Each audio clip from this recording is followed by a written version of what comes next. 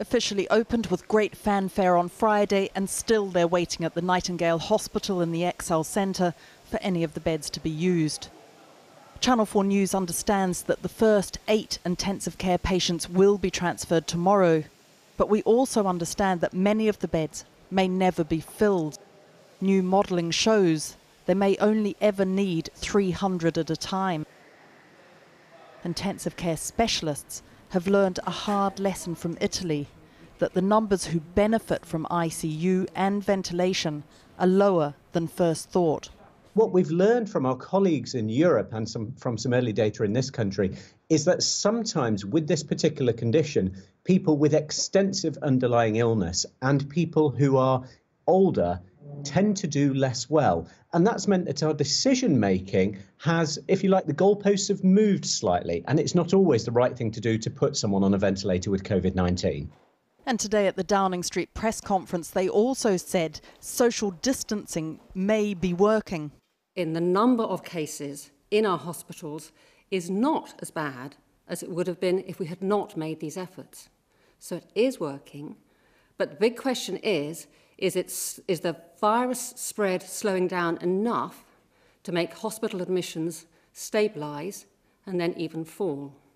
And is there any suggestion that maybe you won't need uh, as many beds as the, at the ExCeL Centre at the Nightingale as you had expected? If we end up in a situation where we have more ICU beds at all times during this epidemic than we absolutely need to deal both with COVID and other areas, that will be a success. That is something which is critical for our overall aim. It is part of the steep and distressing learning curve that has become this pandemic. So many questions, still too few answers. But here is an attempt. Barts Hospital in London is testing healthcare workers so research can look at why does one person, for instance the Prime Minister, end up in hospital while another, for instance the Health Secretary, is able to return to work seven days later.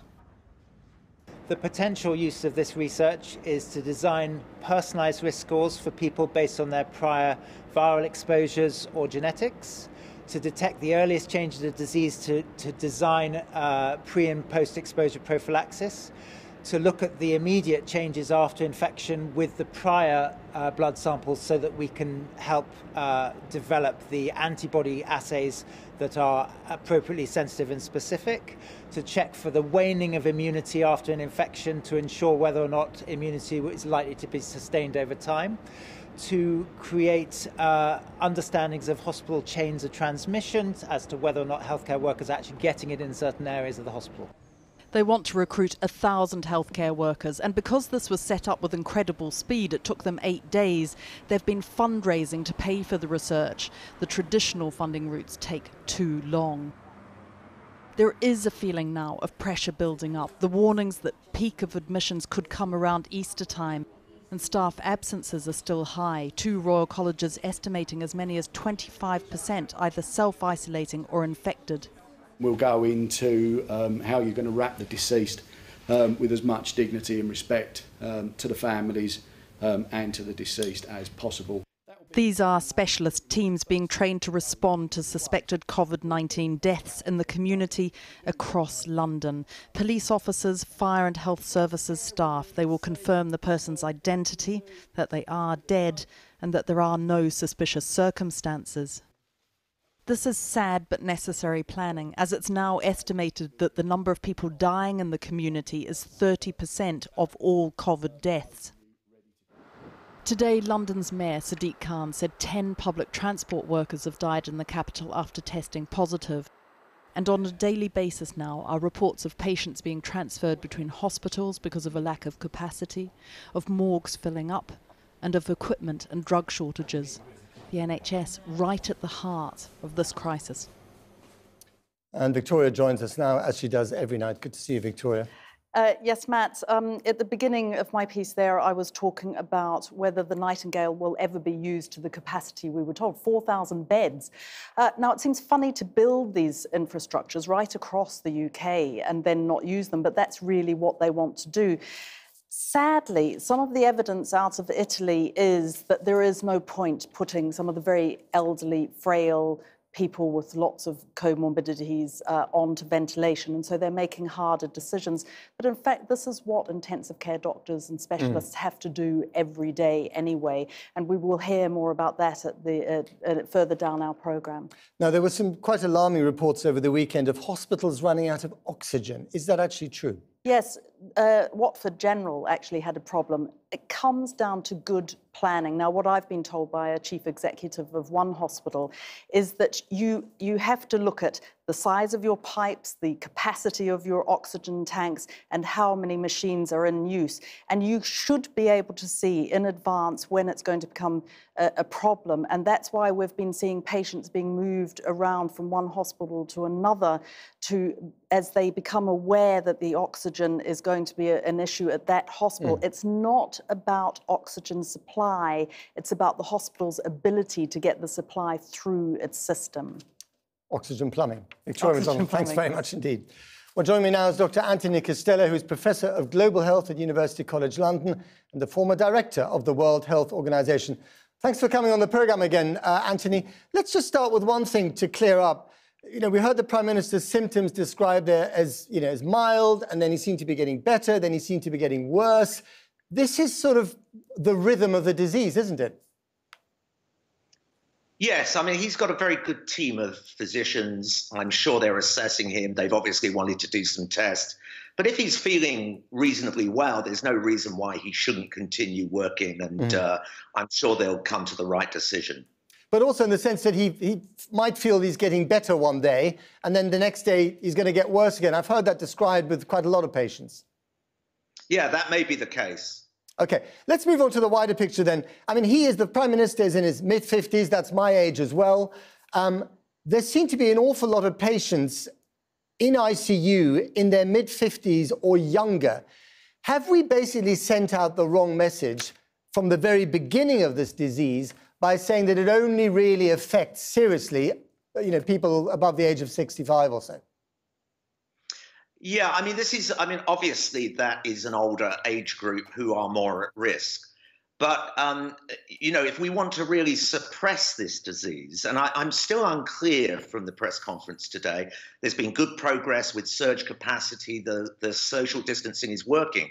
But I'm really not clear whether this is a delay policy to let the epidemic run smoothly or, and, and build herd immunity, or whether we are really trying to suppress the disease so that younger people that you're talking about will not get it. And that for that we've got to suppress the chain of transmission.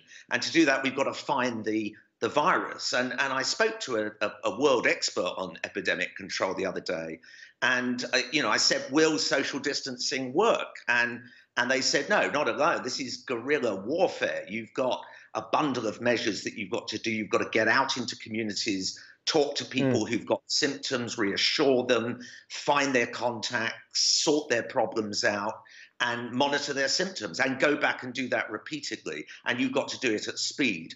We've been a bit slower. That's why our death rates are much higher than the Asian states. But we've got a public health system to do that. In fact, it was the influenza surveillance people that picked up the first cases of um, a coronavirus here.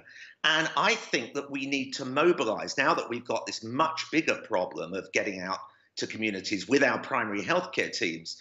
I think we've got environmental health officers trained in contact tracing. We've got 750,000 volunteers, many of them with clinical and nursing skills. Right. So I think we should tap into that, even if we've been a bit late to the party, and then we can suppress it. And I think that's an important difference from a delay policy. But just to be clear, the government would say that it ditched the herd immunity policy some time ago. It's now all about suppression. You don't think that they've got there because they're not doing all the things they need to do in order to suppress the infections? Well, I think they can boost it. I mean, I, I hope it's not clear to me because they stopped uh, formal contact tracing on March the 12th. And I haven't heard them say that they're reinstating that. Personally, I think that should happen over the next month because really what we want to focus on are the 3% of people mm. who've got the infection or are contacts rather than closing the entire economy down uh, and, and affecting, you know, 80% of us. I... And the evidence is mounting that this approach to uh, case detection, testing, isolation, and close follow up in the community is a much more effective and efficient way, and it will get the uh, the the epidemic down much quicker. Right. Just in 10 seconds, what you're saying is that if we have a lockdown and we test but we don't do the tracing, there's no point to the lockdown because we're not going to solve the wider issue. Well, you're not going to find all the cases, and, and we need a mechanism to hmm. monitor that. You see, in Korea and China, Singapore, that's what they're doing. They're well aware that this okay. may come back up. But because they've got their death rates right down, much lower than us, they've now got a mechanism to go and look for it. And okay. I think that's really important. And we should be uh, holding the government to account on that. Okay. Professor Anthony Costello, thank you very much indeed.